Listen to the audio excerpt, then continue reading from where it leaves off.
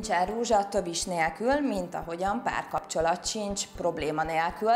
Mi a párommal a bűvös hetedik évet tapossuk, és mindig próbálom megoldani, és ő is próbálja megoldani a problémákat, de sosem tudjuk úgy, ahogyan kellene. És azt vettem észre, hogy mindig úgy próbálom megoldani a problémákat, mint az előző párkapcsolatomban, vagy az azt megelőző párkapcsolatban a problémákat, és gondolom ez nem egy jó ómen. Igen, mert ez rólad szól.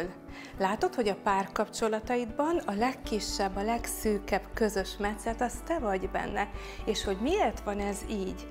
Mert nem az adott két emberről szól a helyzet, hanem nagyon sok minden másról, egy egész rendszerről.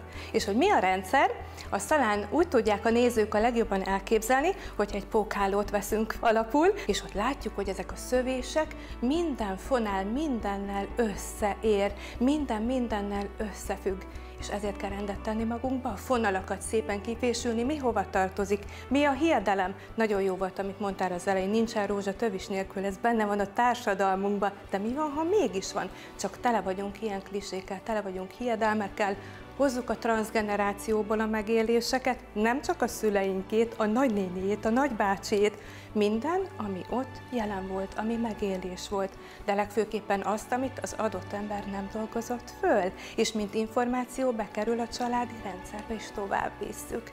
Ez már nem rólatok szól, rólad, a rendszeredről, a pókhálóról és a párod rendszeréről, az ő pókhálójáról. Tehát a főszereplők változnak, a helyzet is mindig változik, de a végkifejlet mindig ugyanaz.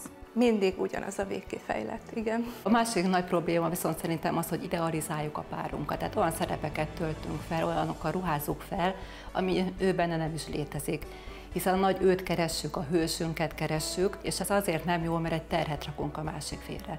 És ebből általában ő ki szeretne hátrálni, hiszen neki egy, teherez. Azért is érdemes szakemberhez fordulni, ugye, mert ilyenkor önmagunkkal dolgozunk.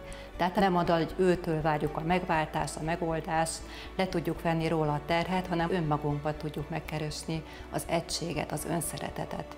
És ez nem csak a párkapcsolatra fog kihatni, hanem természetesen az életünk többi területére is. Mennyire van ránk hatással a közösségi média, vagy akár a, a filmek világa? Nagyon nagy hatással van ránk, hiszen kislánykorunk óta mondjuk látunk egy rockstárt, aki elkezdünk idealizálni, és bekezdünk egy olyan párt vonzani, aki majd a nagy ő szerepét be fogja teljesíteni. És azon kapjuk magunkat, hogy mégsem vagyunk boldogok. Hiszen az ő sikerét, vagy esetleg az ő kvázi szépségét kezdjük megélni, és nem a bennünk élő őt kezdjük megélni, tehát ez is egy úgymond, hát nem hiba, de mégis egy téves dologról beszélünk, tehát itt is nagyon fontos, hogy önmagunkat keressük meg, egységbe tudjunk lenni, és ne ezt az idealizált állapotot kergessük kapcsolatról kapcsolatra, hiszen egy hamis rózsaszín lufit fogunk állandóan kergetni, ami nem az egységet, nem a boldogságot fogja megadni a számunkra.